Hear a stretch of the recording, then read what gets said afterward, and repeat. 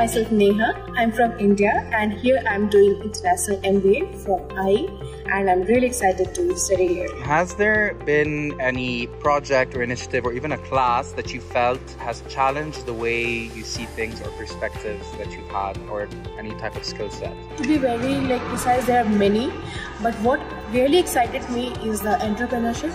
So I am a person who till now felt that I'm good in as an employee. But this uh, program has helped me to think as an employer and to think with a different perspective where I can have a like a founder mindset and a startup ideas. So it helped me to think about a like an entrepreneur with new idea, how a new idea from an idea can convert into a corporation. So this gave me the pathway to think from the start to end. So it has given me a holistic view about the entrepreneurship. So I was really excited and actually challenged. After you get your international MBA from IE, what are your next steps? What do you hope this degree will help you achieve in terms of career goals? I came from software industry and I was working very closely with the business person.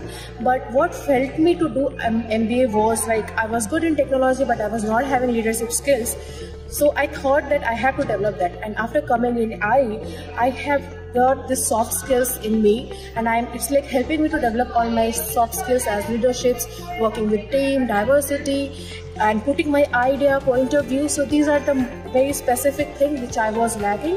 And I think once I have it, I can collaborate my technical skills with this leadership skills and can achieve my short-term career goal as a program manager or product manager and in long term to lead any like a diverse team or a vertical of any company.